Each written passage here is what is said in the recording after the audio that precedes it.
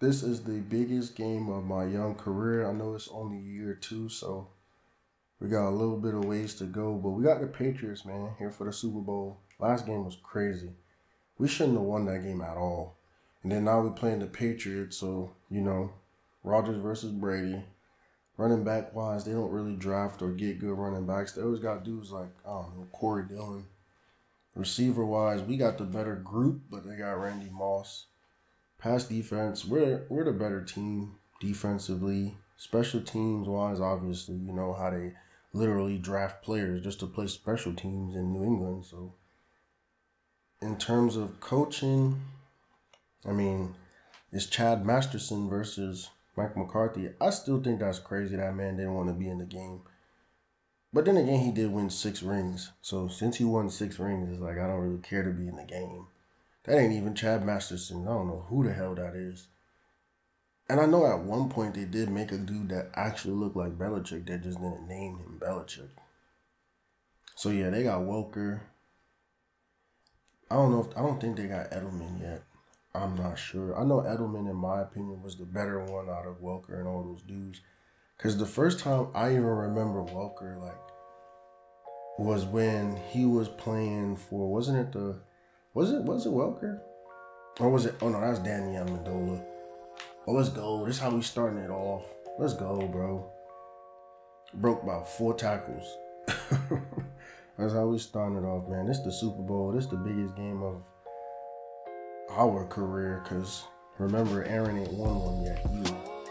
Come on with this dumbass play call, man. Like it don't even make sense. Like it's such a dumb play call because not even that they don't block. So it's not even like, oh well, we still got the ball on our first drive. Damn, that's pretty good. I mean, we're gonna need to do that, like I've been saying since the Atlanta game. Like we need. See what I'm saying? If they would have had me running a route, that'd have been an easy check down for Aaron Rodgers, bro. Now it's 31 and I gotta come up with a big play. Go the other way, go the other way, go the other way, Aaron Rodgers. Anytime we running the ball, bro, we gotta go opposite of what the hell the uh I can't even think. we gotta go opposite of whatever it was called, bro. The AI is way too smart for us to be going the same way of the play. It's never gonna work. Like even right there, good cut, good cut. And I'm not talking about when you stick your foot in the ground. I'm talking about taking people out. Cause back in the day you could do that. Nowadays, man, you can't cut nobody, bro. Can't cut them on the hard knock show. Can't cut them on the field. None of that, man. Anything with that word, can't do.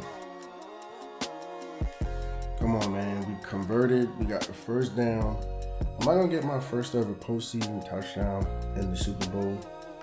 Go the other way. Go the other way. I don't know how many times I gotta say that shit. Do not go the way it was called. Damn, he got boomed. Good little run. Get up, man. Your ass up off the ground. Looking like you out for the season. Off that little baby hit. He, I mean, he did get boomed. We ain't gonna get the playoff though. That's the end of the first. That's the crazy thing about New England to me though is that they can win the game, bro, if you let them hang around. Literally, that's what they did when they walked down the Falcons, bro. Right, we got we got the leverage to get this first. Ooh, come on, man. You gotta lower your shoulder. You was about to have your first postseason touchdown. And you know, anytime you get that close, you gotta get it. Cause here's what we're gonna do. We're gonna throw it on the one yard line, and you are the reason why. What the hell was that? Why did he jump? Oh, it's probably one of those fakes where you gotta make the defense think you have it. Hey, New England turned it over. We got it right back. This is what we need, bro. Cause we had a 14 point lead, didn't we, on the Cowboys or somebody we just played, bro. I can't even think. We had a 14 point lead on somebody, bro, and they came back. Who is it that we went to overtime with? Cowboys. Bruh, we had the 14-0 lead and them boys came back. They walked us down. Other way, man. How many times I gotta tell you? It's bro. Stop going the way like we kicked the field goal good. You know what I'm saying? So at least we have some points to show for that turnover. But bro, do not go the way. Like right here, go the other way, bro. Go the other way. I know what the hell I'm saying, bro. If you go the way that the play is called, it's not gonna work. So at least I could get a couple carries right here and get my numbers up. But yeah, he should have scored that damn touchdown. Like, look, I'm gonna go the way it says to go. Watch this not work, bro. Shit never works, bro. Watch out. Oh, that's horse collar. That man jumped on my back. Like, bro. What the hell was that? Man jumped on my back and choked me. Pause. Like, the hell was that? Ain't no damn tackle. That's how you break people. Oh, what am I doing? I really just spin into the contact. Hey man, we up. That's all I can ask for. Only thing is this the Patriots, so I don't know what we're doing honestly. And the reason why I say I don't know what we're doing, go the other way. I'm getting my yards, right? So when we go look back at this, I'm gonna have about 15 carries. So that's the good thing. Why is it like everybody speeds on this road, bro? I just realized it. Yeah, I'm gonna have about 15 carries, 50 yards, just off of this one drive, bro. See, that's when he shows that he actually runs with power right there, bro. I feel like, oh yeah, they're not gonna be ready for this play at all. this gonna get him, bro. I don't know if it's gonna like, oh, who caught the timeout? That was about to gash him, bro. Like if we could get a good completion to Jordy Nelson or somebody right here, because we don't got no more timeouts, so it ain't us calling timeouts. Oh, that's a dumbass play. Oh, he caught that? Hey, bro, don't even think about it, man. Just kick the field goal. What are we? Yo, we are bugging out. Get the points. Yo, we bugging out. I don't even have a round on this, man. I don't got no timeout, so it's not nothing I can do about it. You ain't gonna score that, James Jones. We are dumb as shit. You take the points when you play the Patriots, bro. We are dumb as shit. Aaron Rodgers, you are an idiot. You should have spiked the ball. And now here we go, halftime. Oh my gosh. This is not good for us. You should have took the goddamn points. I ain't trying to watch this, man. Skip. They want to show me the breakdown. I ain't trying to see that neither. Skip. Get back to the game, bro. We bullshit. You should have took the points. And what I was saying is we also was just bad clock management. Because we should have been throwing the ball from the jump. Like I, am cool. I love that I was getting a couple yards so I could say, hey, in the Super Bowl I turned up, I got some yards, but bro, bro, what is wrong with you dumbass receivers over there, bro? You blocked that we off to the races. And that's what I'm saying. I'm getting yards, so it's looking like, you know what I'm saying? It's looking like a good day for me. So I'm not really complaining from that standpoint. I'm just complaining about clock management. Look, now we just went backwards. I don't even know who that is. The only D Williams I know, look at the score. But I'm telling you, bro, this is not the team that you let hang around. At least we would have been up right now, up by a score. So when we drive down, Aaron Rodgers. Let's go, James Jones. We needed that. So now when we come down and we score, because we about to score again. I usually don't like watching replays of other people, but it's already playing, so whatever. I'm gonna let it rock out. But yeah, when we get down now, because we, what are we doing, bro? We've had success running the ball, yes. I will say that. But why are we running this now, bro? That boy jumped on my back and I still got the first, bro. See what I'm saying though? 15 carries, 67 yards. Like basically what I said, I was had like 15 carries, about 50, 60 yards. That's what I predicted. Second in inches, so they're gonna blitz. I'm not gonna get the first ever. Yes, I oh, am. If I was to keep that a little bit, two inches to the left, I might have been able to get up out of there. But what I'm saying is, even now when we score, right, we only gonna be up 17 to seven. And I already know how this game goes with the Patriots, bro. They're gonna come back, bro. Aaron Rodgers, watch out. Let's go. That's probably, I ain't gonna lie, probably like the biggest secrets of my career so far. To make those couple of plays. We ain't gonna get this play off. So we're gonna go to the half. I mean, not half. The fourth. Up by three. Better come up with a good play, Coach McCarthy, bro. Don't sell. They sold. they definitely sold. So, ooh, this ain't gonna work. We're gonna have to. I might just have to get what I could get. I know this ain't gonna work. You can see it, bro. They stacked the hell out the box. Did we really just kick a field? We did all that work and kicked the field goal. That's how you lose, bro. Now we kick the field goal. That's how you lose, bro. That's losing football, bro. I swear to you, that is losing football. And we come back to this bullshit run. Richard Seymour ran straight through the A gap. Nobody blocked him. But remember, we're trying to run the clock. So since we're trying to run the clock, we don't care that that's a dumb play call. That don't mean nothing. And to me personally, bro, hopefully we run this down and we don't snap it till we have to. For real. The reason why I say that is because we're gonna give the Patriots the ball back with Tom Brady. They got two minute warning, so they're not gonna waste their time out. Oh no, oh no. We got so lucky, bro. We just won the Super Bowl 13 to 7. And I still haven't scored a playoff touchdown, by the way. So there goes my contract negotiation leverage. We won the Super Bowl though. There's no animation, I guess, for winning the Super Bowl. We just another game. I don't get like how we just left so many points on the board. Like I really feel like every game we won is just like one of those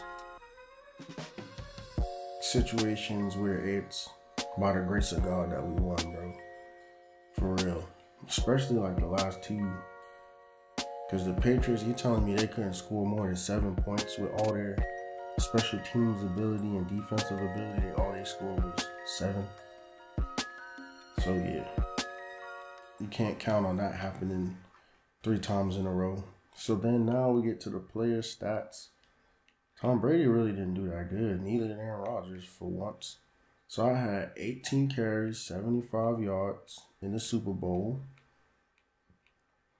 And then I led the team in receiving yards too. Let's go. Oh crap. So I ended up having 100 yards, 103 really. That's tough. I had 103 yards in the Super Bowl. And like I said, it's not going to be that flashy output that I'm looking for, which would be, you know, 100 rushing, 100 receiving. But I had 100 yards in the Super Bowl. It's pretty cool. I mean, I'm mad I still haven't scored a playoff touchdown, but whatever, right? So now I got to turn my attention to my contract. We are at the most important part of my young career, and the reason why is being a running back. Whatever you get on this second deal is very important, and obviously the game is different I shouldn't be negotiating my second deal this early, but good thing I am. So I'm not gonna go look at stats because I already know there's no recollection or they don't really record playoff stats and I know they don't really do it in real life either. I haven't seen it on any of the stat databases for football. So we're gonna just focus on this contract, bro, because this is really gonna make or break my career because by the next time I think I'll be able to sign another contract, I'll be really close to my prime being over. So thanks for dropping by. As you know, your contract is set to expire in the next week. What do you want to do? So I want to re-sign because I want to be an all-time Packer great. So now, as we re-sign, we also got to remember he didn't have great numbers, and then Ryan Grant is back. So he led the team in rushing. And we're going to sit here for a second just because I want you to understand we had 1,108 yards and three touchdowns in two years. And we had six fumbles, which is more fumbles than uh, touchdowns. So we end up signing a five year, $21.25 million deal with a $7.5 million bonus. And it's a good deal in terms of I really didn't do anything. So to get a four million dollar a year salary is basically what it comes out to. Is good. I mean, I just played on a two year, $3 million deal. So technically, I got a raise, and then the 7.5 up front obviously is going to be nice. But I'm going to be honest with you, it does make me wonder in terms of a contract, um, how much money was just left on the table.